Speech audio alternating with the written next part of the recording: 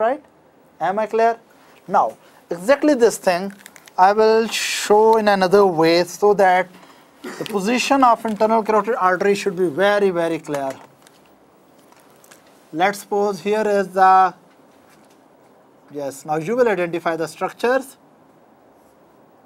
I think it should be little posterior. This is sella turcica. Are you understanding? Posterior cranial fossa, of course, foramen magnum, middle cranial fossa and anterior cranial fossa, nose should be here. Fine? Now, where is foramen lacerum? Foramen lacerum is here and here. Clear?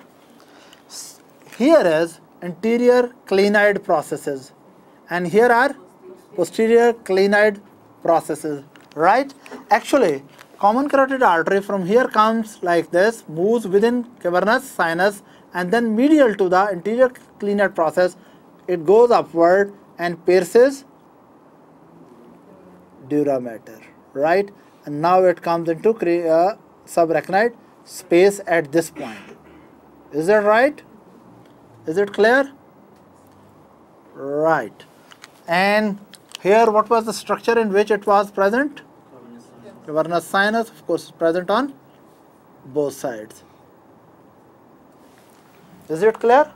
So you have to remember internal carotid artery enter into cavernous sinus through the foramen lacerum passes through the cavernous sinus and medial to the anterior clinoid process it turns upward sharply and pierces the dura mater and arachnoid mater to appear in subarachnoid space. And of course you should not forget your friend is here. Who is this? Pituitary right so you must know that these arteries are on the sides of pituitary gland. And you know what is at the top of the pituitary? Hypothalamus. Right? Anyway we will not talk about that. Now what are the important branches which are coming out of this? Okay just a minute. I think i should make this little bit you like a bigger nose, isn't it? Now, here is your, what is it?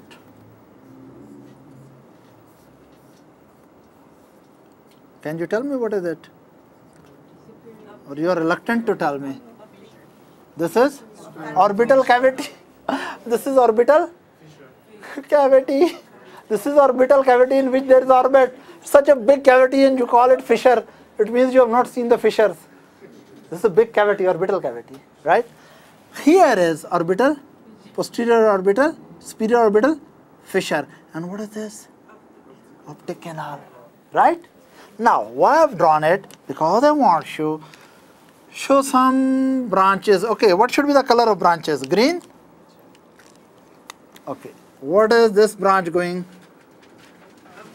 ophthalmic artery, right? I will not tell that ophthalmic artery give posterior ethmoidal branches, even I will not tell it gives anterior ethmoidal branches, and I don't want to mention that it is making supratrochlear and supraorbital branches, no.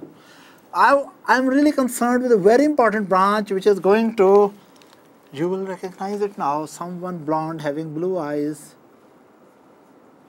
and branch of the ophthalmic artery going into this, yeah, what is it? Retinal artery central retinal artery. You never heard of it.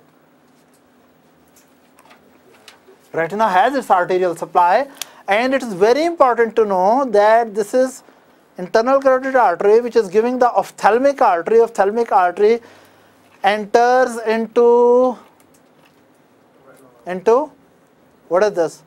Orbital cavity through optic canal. Ophthalmic artery enters there and it gives one of the extremely important branch which is going to the yes what is this?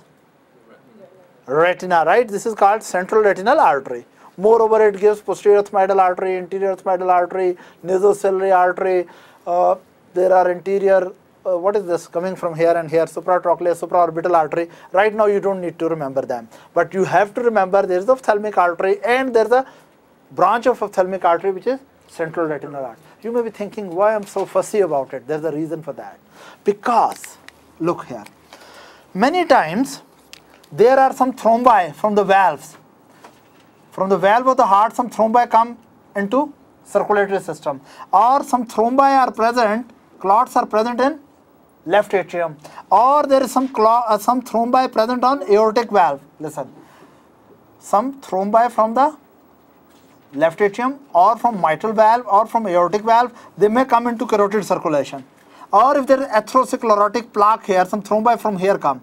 So all these thrombi may go here here here here here here here. Yes and produce blindness and one of the features of anterior circulation failure, carotid circulation failure is you develop blindness in one eye due to occlusion of, closure of central retinal artery. It's one of the clinical feature of problem with the carotid system, that carotid system is getting some thrombi.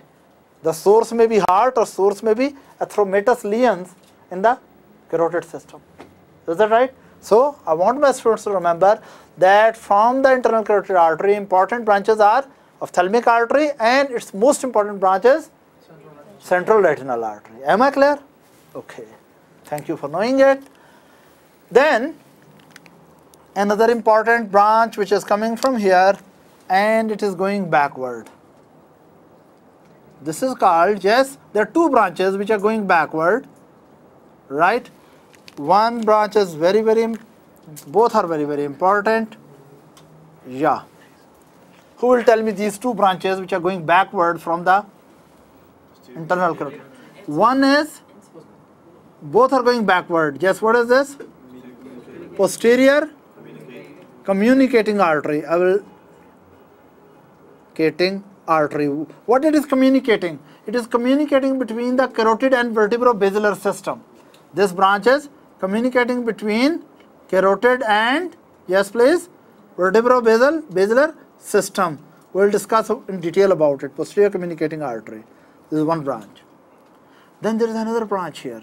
What is this? This is going backward. So what is this branch called? It is the choroidal artery. Which choroidal artery? Anterior or posterior? This is anterior choroidal artery which is going posteriorly. Yeah, this is very funny thing. But actually choroidal arteries are arteries which are going to the choroid plexus of third ventricle then lateral ventricles. Right? These are choroidal arteries. Now choroidal artery this choroidal artery is coming from anterior circulation. So it is called anterior choroidal artery but it is going backward. And as it will move backward it will supply the choroid plexus of lateral ventricle so this is anterior choroidal artery later on we will learn that from posterior cerebral artery there are posterior choroidal arteries so what is this branch? Anterior choroidal artery, right? Now, this knowledge is, you haven't